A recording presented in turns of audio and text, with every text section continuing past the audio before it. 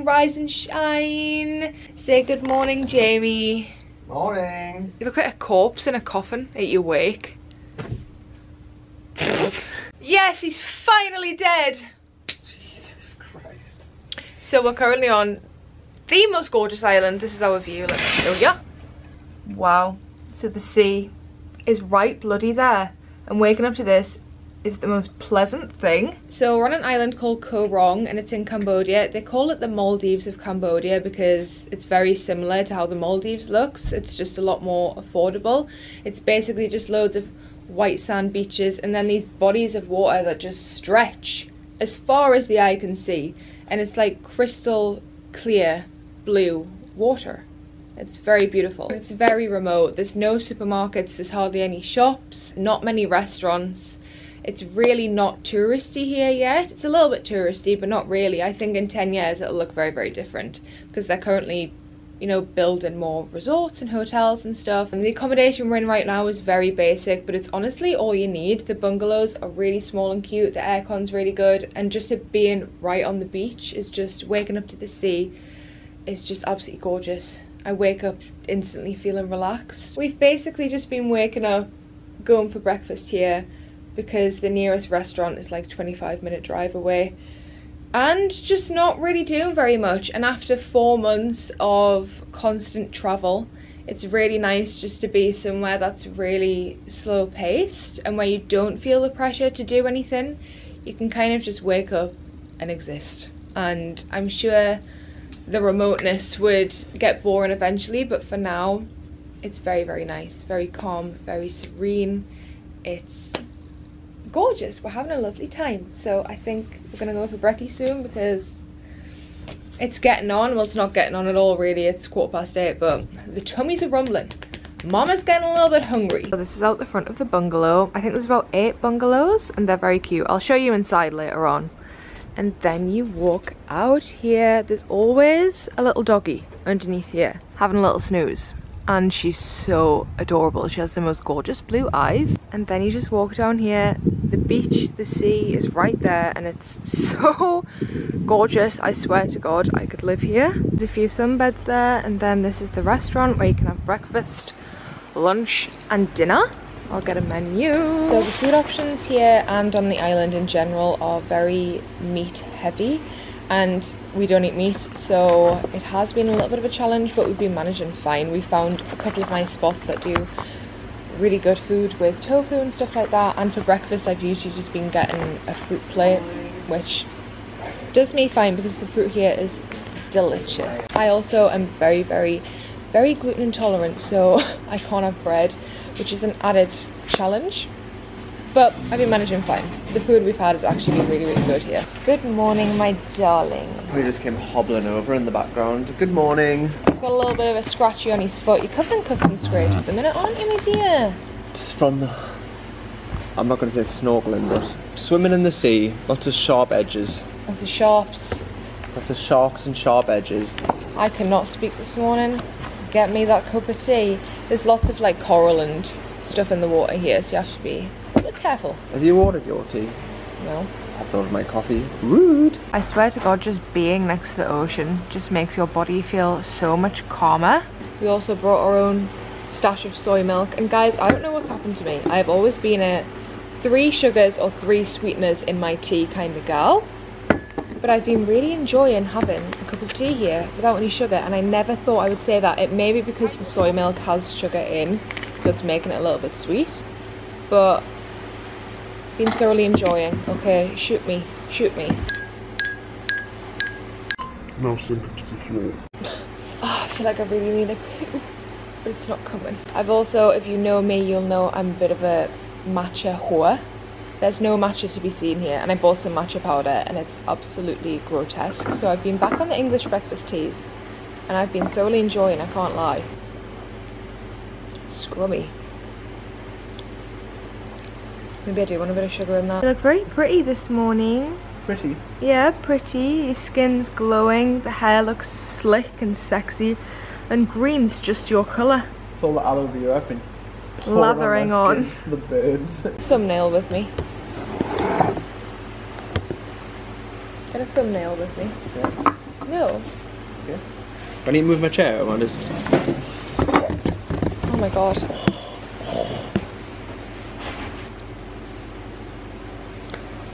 Look at that. Jamie. Absolute disgrace. Fruit plate for me, beans on toast for the boy, and he also does a little dessert toast with peanut butter and banana. Steals one of my bananas. My personal favourite is always going to be the dragon fruit. Ooh, it's nice and cold, like it's been in the fridge. Mmm. Just reaching over for the salt, don't mind me. Don't mind me. How's the mango today? Mmm. Yummy. An artist at work. So precise. So, could do with some little chia seeds, A Little sprinkle. some cacao nibs.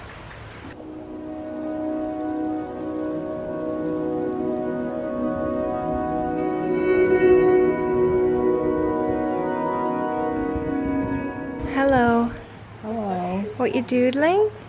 A Little mouse riding a cat. Oh. That's so cute. Show the finished piece. Ah. I feel like I'm in show and tell. You know, in f- first school when you used to like show off your. That's really good, Jamie. Look how well he's shaded between the lines. It didn't go over a single line. You need to sign it at the bottom like a true artist. A true artist. Jimmy. Jimmy. Jimmy Bill. This gorgeous baby. Oh. Says, look at bird. Are you gonna do kisses? Go on, do a few kisses just for me.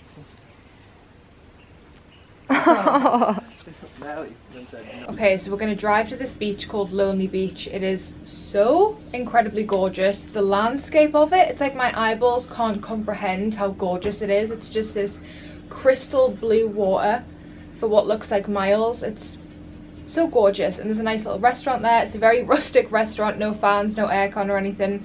Um, but the food is really, really nice. They make the most delicious freshly made bread. Everything is freshly made because basically you can't really buy anything processed here.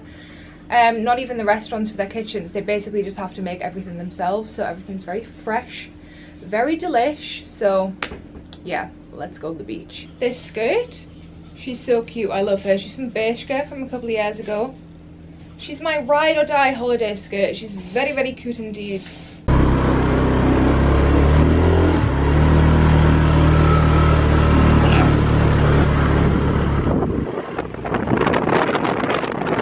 Seems to be a little friend in the water there. We thought it was a fucking crocodile or an alligator, but it's a buffalo.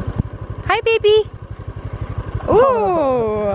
Little spray of the nose. You having a little dip? It is very hot, isn't it? Roads down to this beach are a little bit crazy. They're a little bit bumpy, bumpy and grindy. But luckily Jamie's quite good on the moped. I perhaps wouldn't recommend it to somebody who doesn't have much experience on a moped because they are so bumpy. If I tried to drive it personally, it would be a fucking disaster. I don't think we would make it out alive. What's that? A big stick. You're like a dog with a stick. Is that for your sciatica? Yeah. Here she is. It's so gorgeous. It doesn't really translate to camera how gorgeous it is, but it's just so vast and so big. It's so pretty and the water is so clear, it's so nice to swim in. There's literally one restaurant here and one accommodation, like a few bungalows. There's nowhere to buy drinks or anything, it's just so, so remote. It's called Lonely Beach for a reason. It is indeed lonely, but it's so calming and it's so nice because you don't get signal here. I mean, we don't have SIM cards anyway, so we never have signal, but there's no Wi-Fi. So you just get to really switch off when you're here. It's so beautiful. Hello, gorgeous. You're very handsome. Very handsome indeed.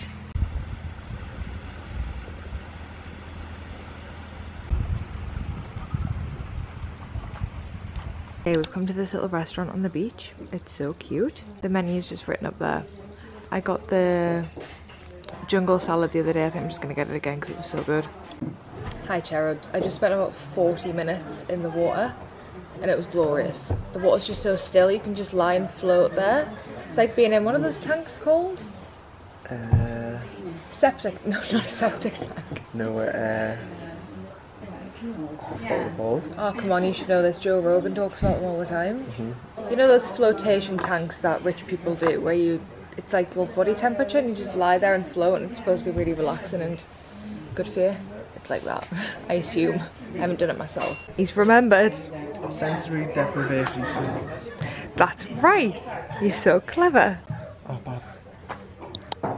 Oh, so pretty. Hi, I'm going to show you guys the toilet here because it's rustic to say the least. So it's just in the middle of this shack and it doesn't even flush. You have to use this toilet. oh my god, it looks really gross, doesn't it? You have to flush the water down the toilet to make it flush. Do you know what I mean? I feel like this is a lot of people's worst nightmare. To be honest, would prefer a clean indoor toilet. But you know, you've got to you've got to get in touch with nature in this life. Doing the old hover number because I don't want to put my butt cheek. I can imagine a murder taking place in this very toilet. I can also hear some kind of weird animal creature lurking on the ceiling. Also, again, no running water, so they fill this little coconut bowl up with water and then you tip it and oh, it needs refilled. But usually water falls out the bottom of there and it's kind of like a makeshift tap, you know what I mean? This is how we used to live back in the day, guys. I'm just getting in touch with my inner cave woman. Okay, so this is the salad. It's got mango, passion fruit, uh, pineapple, this delicious tofu with some kind of glaze on top. It's very yummy. Cabbage, and then this is a creamy dressing. This is like a French onion dressing. And this homemade bread is unbelievable. It's so good. Bit of mango, bit of tofu, bit of salad. The perfect bite.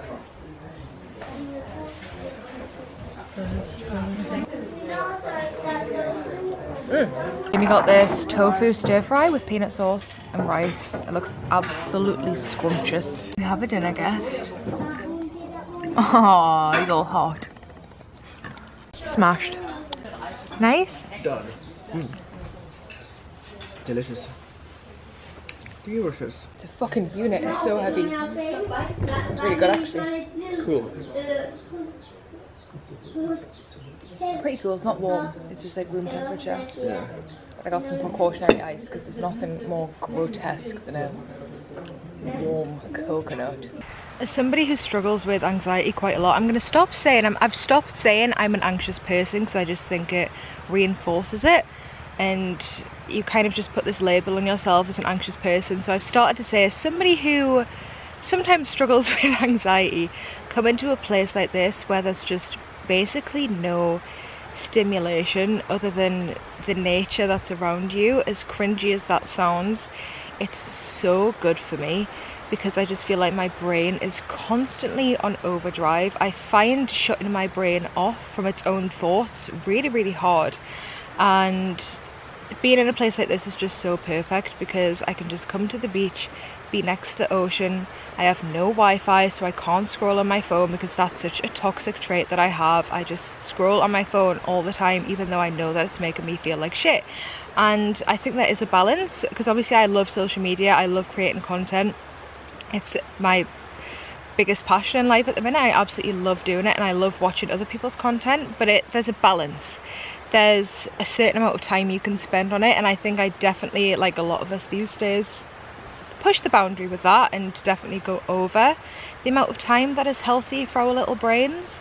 So just being somewhere where I can't go on my phone, I'm just with nature, I just put my headphones on, listen to a podcast, listen to, to some music, have my little coconut. It's perfect and I feel so lucky to be here. And you know, it was such a big decision for me deciding whether to come travelling because I'd already done it four years ago. Me and Jamie actually came travelling before to Southeast Asia and we only came for five months and we kind of felt like our time wasn't done so we always wanted to come back eventually um, but that was four years ago and then the pandemic hit and whatnot. Deciding to come again it was just it was even scarier than the first time for some reason and I'm just so glad I did it because I still have my days where I feel anxious and I still have my days where I struggle with things. Obviously I'm human. Your troubles don't just disappear when you come traveling. That's not what happens um, I think a lot of people come travelling thinking that all of their every problem they have in their life is just going to diminish, but that's not what happens. You know, they come with you. It's just you can deal with them in a very different way than when you're at home. Um, and I'm just, I, it's moments like this, it's days like this where I just feel very lucky to be here and to be doing this. And if it's something that you're thinking about doing, I would 100, 100, 100% recommend it as scary as it sounds and as scary as it feels. You just got to do it. If you're thinking about it every day and it's something that you can't stop thinking about and you really, really want to do it, you just got to bite the bullet, baby, and you just got to do it. And like I say, every day is not perfect, far from it, but overall, I'm just, I'm feeling very happy right now. Very happy, and just this beach, I cannot get over it. It is so gorgeous, so, so gorgeous.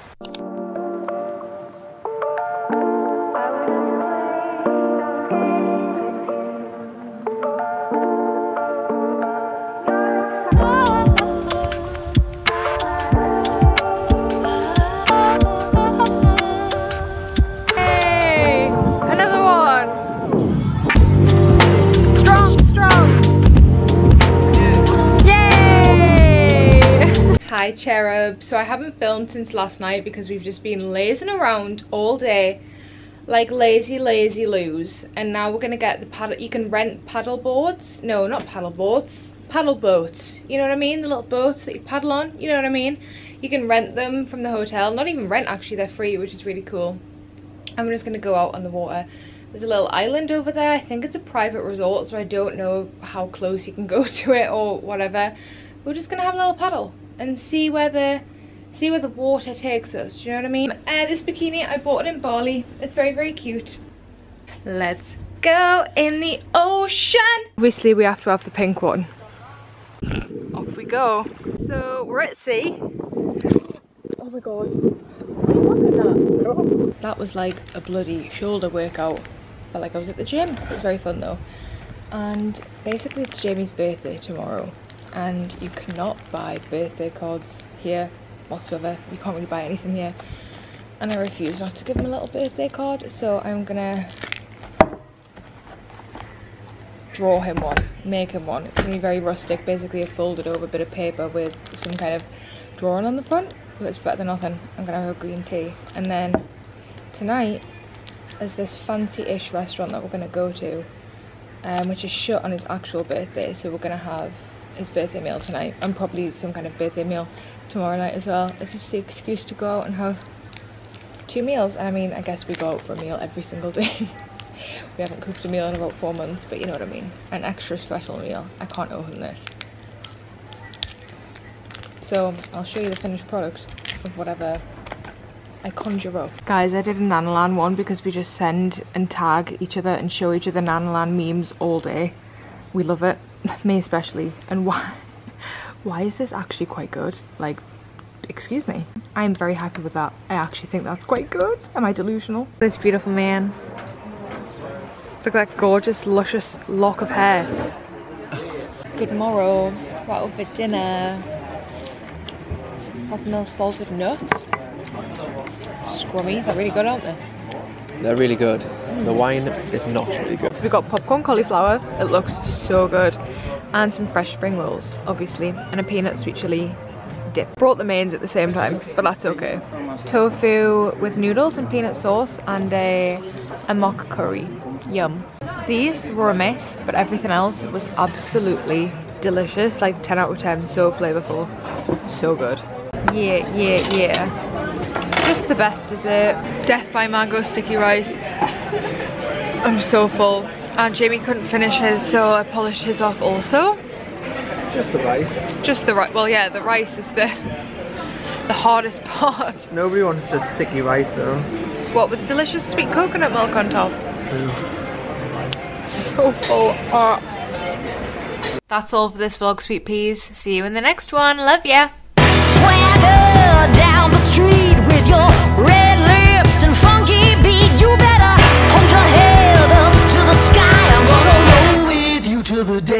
die.